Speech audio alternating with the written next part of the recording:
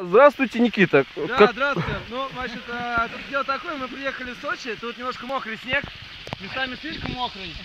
Вот, мы ехали тут с парнями вне трассы, и так получилось, что захотелось попить воды. И вот мы пьем воду. Ништяк. Горная вода очень вкусная. Чистая прям, рекомендую. А не, по- не подскажете, какого хуя вообще ну, все это? Какого-то хуя приезжайте на курорты Краснодарского края. Ура!